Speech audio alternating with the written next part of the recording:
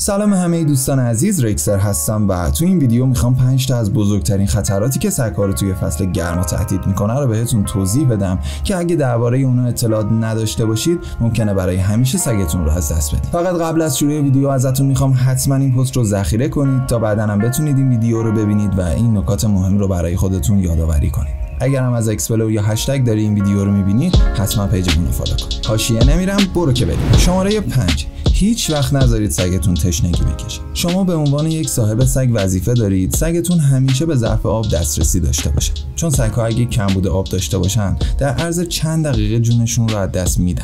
این نکته رو هم به خاطر داشته باشید که آبی که به سگتون می‌دید خنک تازه و تمیز باشه. و موضوع دیگه ای که می‌خوام بهتون بگم اینه که اگه براتون مقدوره برای سگها و گربه های خیابونی هم ظرف آب قرار بدین و تشنگیشون رو از بین ببرید چون پیدا کردن آب توی این هوای گرم واقعا کار سختیه و متاسفانه خیلی از این زبون بسته ها به خاطر گرمازدگی و کمبود آب جونشون رو از دست میده.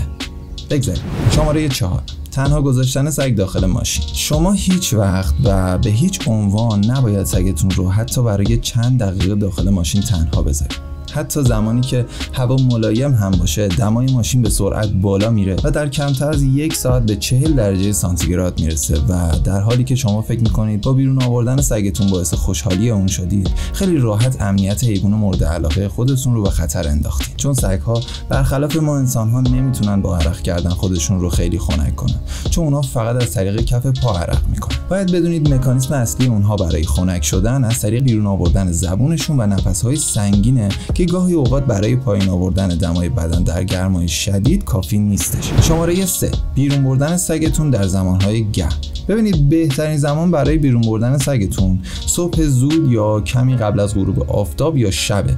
و این نکته هم باید بهتون بگم که وقتی با سگتون پیاده روی می‌کنید مطمئن بشید که سگ شما روی چمن یا خاک حرکت می‌کنه نه روی آسفالت.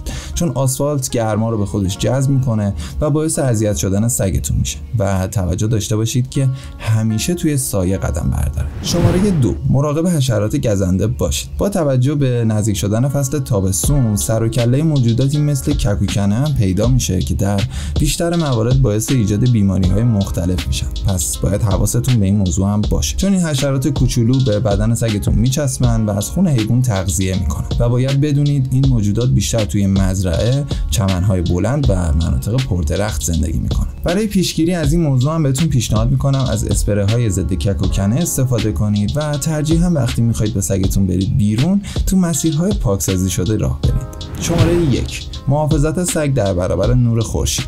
ببینید تماس بیش از حد خورشید در سگها باعث آفتاب سوختگی جدا شدن پوست و التهاب های دردناک میشه.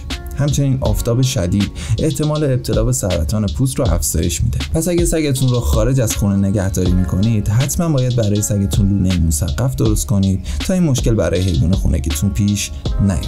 خیلی ممنون که تا انتهای این ویدیو رو تماشا کردید. ازتون می‌خوام اگه براتون مقدور همین الان این پست رو استوری کنید چون ممکنه خیلی از دوستان از این خطرات اطلاع نداشته باشن و جون سگشون رو توی خطر بندازن. همین دیگه دمتون گرم خیلی مخلصم.